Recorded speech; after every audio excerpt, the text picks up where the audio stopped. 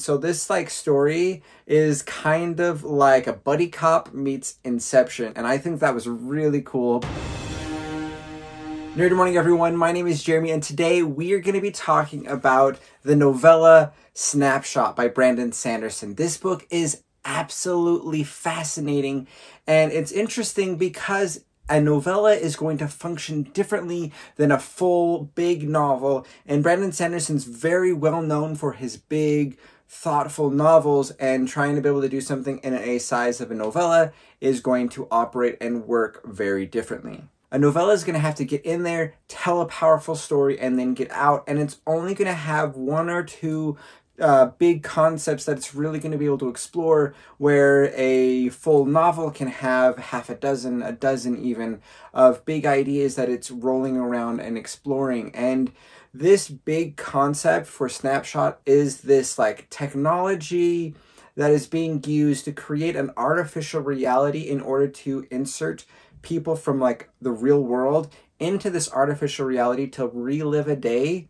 and thus collect information. So we have Detective Chaz and Detective Anthony Davis, who are the main characters here, and it's kind of a buddy cop experience as they're going in to these snapshots, gathering information and using that to help solve crimes and use as evidence in court cases um, dealing with those crimes. And so that's kind of the concept is what if we could relive a day? What if we had a way to experience something again after we had more information? And that's the thing that they're trying to explore here. And I think that Brandon Sanderson does a really good job of asking questions, uh, posing ideas. And that's where these novella sized stories really shine is putting out a really interesting concept and just like playing with it. This story was initially connected with the Reckoners series, but officially it's not connected mainly due to publisher and film rights, from my understanding. But Snapshot, the function that they're using is essentially a person, and it seems to be similar to the type of people who had powers in the Reckoner series. Also, this is some type of new formed America, and there's also city states and other type of clues that suggest that this is connected to that universe. Um, but officially, it's not connected, but really, it is totally connected. Because of how society is operating right now, um, we are safe to say that this is long after the event of Calamity, which is the final book in the Reckoner series. So before I dive totally deep into this story, I want to give a spoiler warning to you guys. I am going to be talking about this. We're going to be breaking some of the things down, and I think that I want to just like give you that warning. If you haven't read the book you know maybe push this on pause and go read this story and then afterwards come back. With that noted let's dive into the story. Back with chaz and anthony davis they are like sent into this artificial reality and they live out days and there's these things that they have to like be careful of which are called deviations. And deviation would be them acting um, in the world that they're in, and because they order a coffee or slam a door or talk to somebody or anything, it creates a ripple effect which can change how things happen in the snapshot than how they would have happened in the real world. And this is interesting because, um, and it's even quick question inside of the story, is that our choices, the things that we do, affect others. And the ways that we act they cause a ripple. But because we live in reality and we are in a continuous timeline we don't get to see what the other possibilities are from our choices.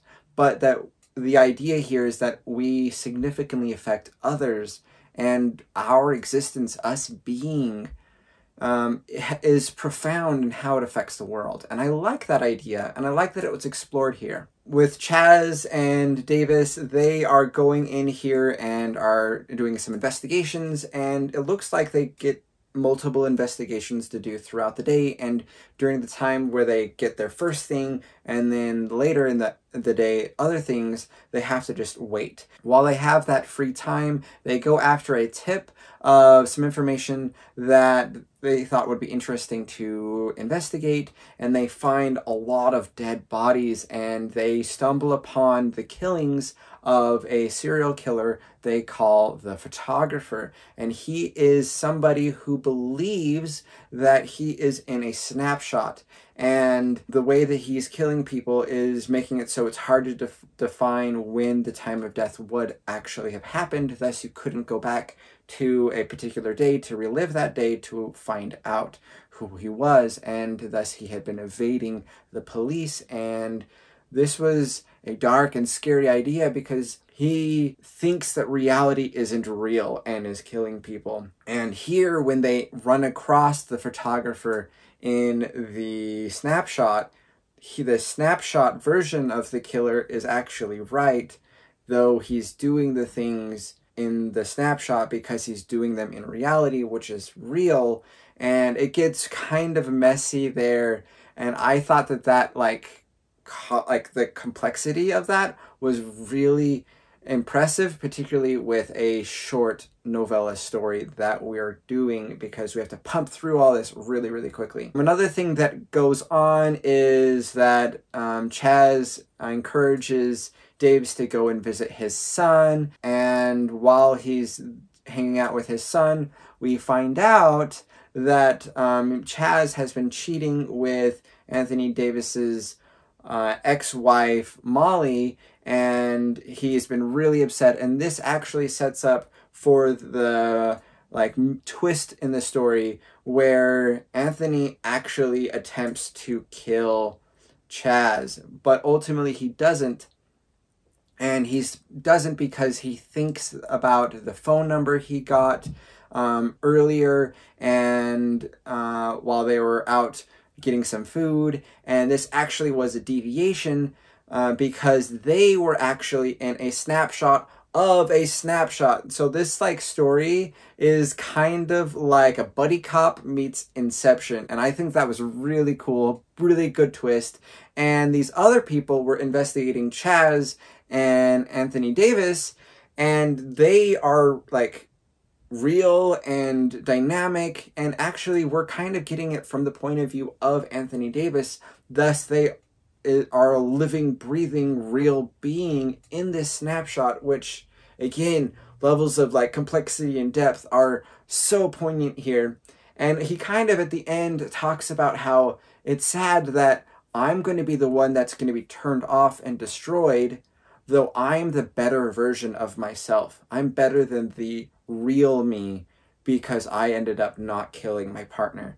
And like that's just again thoughtful, intriguing and interesting and this book uh, just makes me like stop and think and I think is really really fascinating.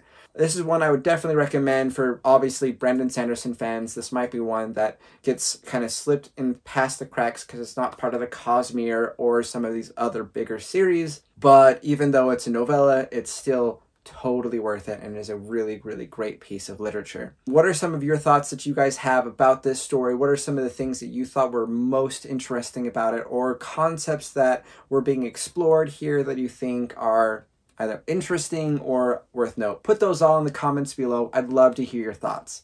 Also, you can follow me on my various social media platforms like Instagram, Facebook, and Twitter at Nerd Morning um, for more stuff like this.